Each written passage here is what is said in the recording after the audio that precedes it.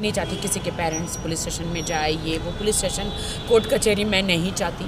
और रितेश मैं तुम पे कोई इल्ज़ाम नहीं लगाऊँगी एंड आई डोप जाऊँगी ना मैं कहीं जाऊँगी। बिकॉज़ आई हैव गॉड मैं तुम्हें गॉड के हाथ में दे दूँ हालाँकि अभी तमन्ना का फ्लो आ रहा है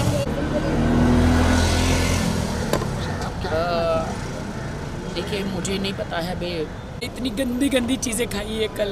रस मलाई रबड़ी, चॉकलेट। डिप्रेशन में इतनी चीज़ें मैंने खाई है।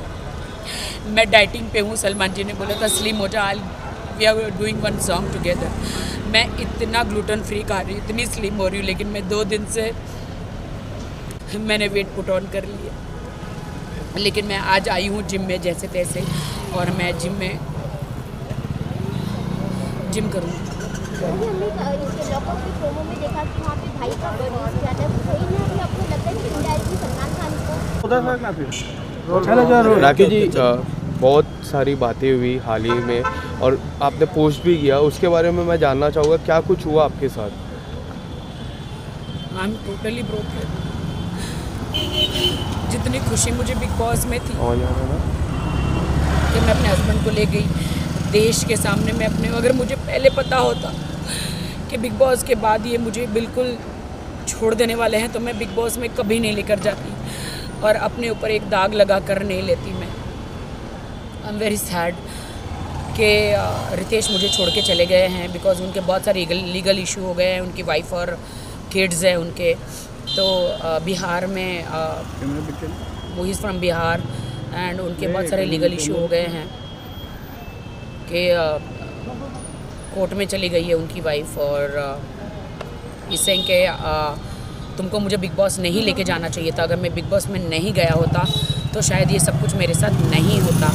मैंने कहा देश की जनता जानना चाह रही थी कि अगर मैं शादीशुदा हूँ तो कौन है मेरा पति?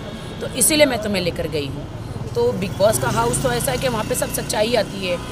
तो no you spoiled my life तुमने मेरी लाइफ ख़राब करी। बिग बिग बॉस हाउस में लेके जाके मेरे अरबों, खरबों का, करोड़ों का नुकसान हुआ। मेरे लांछन लगा मेरे कैरेक्टर पर। और तुमने मुझे इमोशनली तुमने मेरा यूज़ किया कि तुमने ऐसा वहाँ पे कुछ किया कि मैं तुम्हें डांट रहा हूँ। मैंने कहा, नहीं, वो तुम्हारा अस्तित्व है। तुम जो मुझे डांट रहे हो, तुम जो मुझे कमज़ोर महसूस करा रहे हो। वो तुम्हारा अस्तित्व है वो you are you are like that कि तुमने मुझे बिग बॉस में जितना भी डांटा मैं स्ट्रांग वुमेन हूँ। मैं हमेशा हर वुमेन के लिए सबके लिए लड़ती हूँ।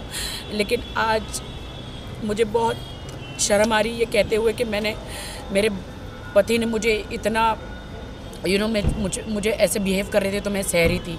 मैं सह रही थी एक कमज़ोर के हिसाब से मैं नहीं सह रही थी। मैं